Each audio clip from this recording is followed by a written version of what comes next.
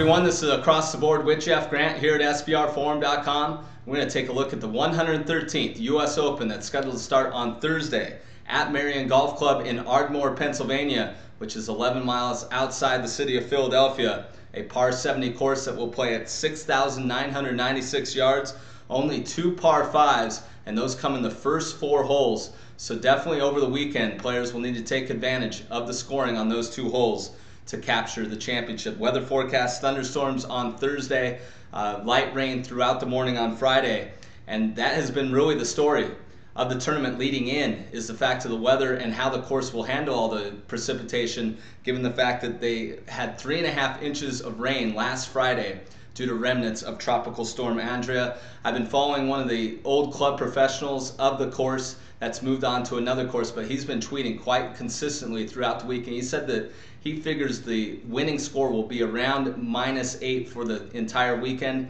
While uh, Rory McIlroy mentioned the rain, that he won a congressional a few years ago, and it was a very soft course, but he does not expect the scoring to be as low as it was at congressional. So a few things if you're looking to play the total score for the winner of the 113th U.S. Open. Betting favorites here at William Hill in Las Vegas.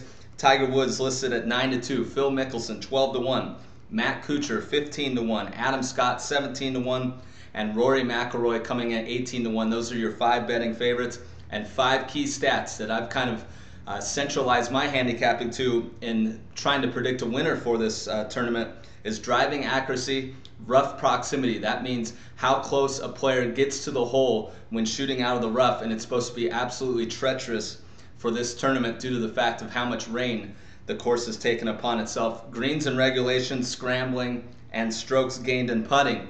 Five players in key statistics to look at. Graham McDowell, number one in driving accuracy. Brandt Snedeker, number two in rough proximity, number one overall in those five categories. So if you're looking to play a golfer that possesses all five of those statistics that I've kind of focused on, Brandt Snedeker looks like a good option. Henrik Stenson, number three in greens and regulation, number two in driving accuracy. Lee Westwood, He's really spent a lot of time in scrambling, and it's really paid off. He's number three in that category this year. That has been a weak link to his game. He's always been a contender at the U.S. Open. And Sergio Garcia, if you want to take a flyer, number two in strokes gained putting, but I'm not getting anywhere near him with the Philadelphia crowd getting on him with his recent Tiger Wood comments.